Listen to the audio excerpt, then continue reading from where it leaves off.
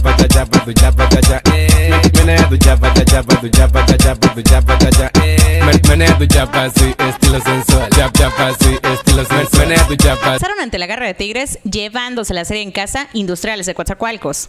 El segundo de la serie fue para los Tigres cuatro carreras por dos y el tercero fue de Industriales seis carreras por tres adjudicándose la serie y ganando dos de tres en casa. Así es, Industriales de Coatzacoalcos y los Tigres de Tuxpan dividieron honores en la doble cartelera celebrada este domingo en el Estadio Miguel Alemán. El primero para los visitantes cuatro carreras por dos y el segundo de los locales 6 a 3. Sin embargo, la serie se quedó en casa de dos juegos por uno. En el primer desafío, los Tigres vinieron de atrás al cuajar rally de cuatro carreras en la apertura de la séptima entrada. En este acto atacaron el cerrado Adolfo Delfín, Olmo Rosario Sencillo y Rogelio Noriz, que se envasó en pecado del antesalista. Acto seguido de Miguel Torres, que produjo una con un sencillo. Carlos Romero llevó otra y Roberto Valencia con triple sentenció la embestida mandando a otro para tierra prometida. Los sueños del patio se adelantaron en el cuarto rollo cuando Eliseo Aldazaba pegó rom con un compañero en los senderos. Y el ex. Traen buen equipo, nosotros también estamos peleando en el standing. A lo mejor ahorita amanecemos en tercero o empatados con ellos pero estamos bien, me deja un buen sabor de boca, estamos viendo de qué estamos hechos, ¿no? Realmente, ¿no? Eh, como ustedes ven, somos puros jóvenes, ellos ya es un equipo ya de experiencia, pero bueno, estamos peleando al tú por tú con ellos. A mí me, deja satisfecha la serie, aunque perdimos. Hablando del tercer juego, bueno, el, pitcher cometió dos tres este, pecadillos por ahí, eh, sí, se ve un poco nervioso y bueno, cometió un engaño, dejó una bola ahí enfrente que no fue por ella, él mismo se complicó la situación y bueno, vino el el relevo bueno de nosotros y, le dieron dos granadas ahí atrás del cuadro y no, con eso nada puedes hacer. Dentro de la tarde de ayer, Industriales se queda con la serie para amarrarlos así.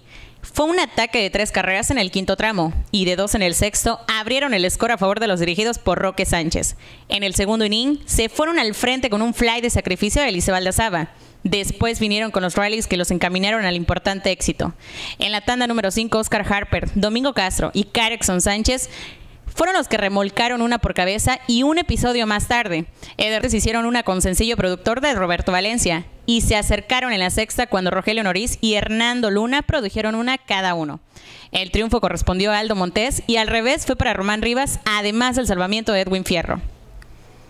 Con esto, industriales de Coatzacoalcos alzaron las manos al cielo para respirar profundamente. Vaya que el Estadio Miguel Alemán tuvo un lleno para ver a estos grandes atletas, quienes están representando a la ciudad porteña y dejando el corazón y el alma en el área verde. Pues recordemos que contamos con un gran equipazo lleno de talento que luchan para llegar a los playoffs. En este momento me siento un poco apretado, ya que me está pegando el cansancio y que vengo jugando todo el año. Pero siempre dando lo mejor de mí y aprovechando los momentos que me da el manager de jugar. La participación ahorita, bueno, y también el triunfo que se tuvo ante el Tigres de, Tuxpan, ¿cómo la viste con todo el conjunto que hizo en el buen cuadro de aquí del puerto de Coatzacoalcos? Ante todo le doy las gracias a Dios porque siempre nos está con nosotros, nos está ayudando y la verdad siempre estamos un equipo unido. Estamos siempre cada quien aporta su pedacito de arena, como decimos nosotros. El equipo, mantenernos unidos y seguir jugando como estamos jugando, que las cosas saldrán mejores y llegarán momentos mejores para aprovecharlo. Thank you.